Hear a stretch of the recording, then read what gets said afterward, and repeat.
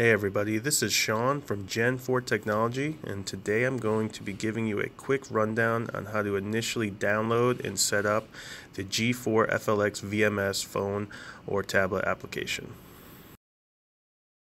There are two different locations where you can find this application. The first being Google Play, second being the Apple App Store. So depending on what phone you have, let's go ahead and navigate to either of those. Next, you're going to input G4-FLX-VMS within the search bar and then select the search icon. This will prompt up multiple application options. The first in most cases will be the actual G4-FLX VMS application. Go ahead and select the application and download and install it. Once installed, we're going to go ahead and select the option labeled Open.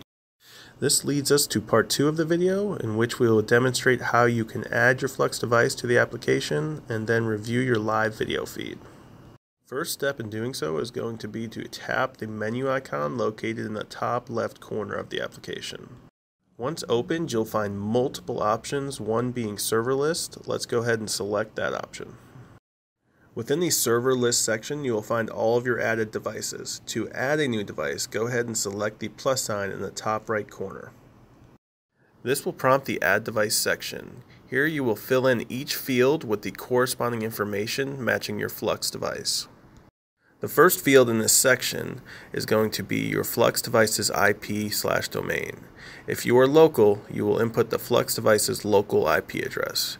If you are remote, you will input the public IP address of the network where your device is hooked up to.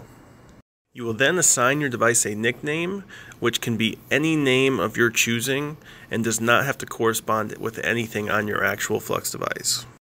Lastly, we are going to fill in the username and password fields. Here you will fill in the same exact username and password you use on your Flux device when local. Once all fields are filled in as required, go ahead and select the option labeled Save. This will prompt you back to the server list section where you will wait until the Wi-Fi icon turns green and then you can select the play icon to review your live video feed. Once in live view, if you'd like to review playback, simply select the grid box of the camera you'd like to review and then select the video reel icon. Thanks for watching and make sure to subscribe, like, and comment with any videos you'd like to see in the future. Take it easy and see you next time.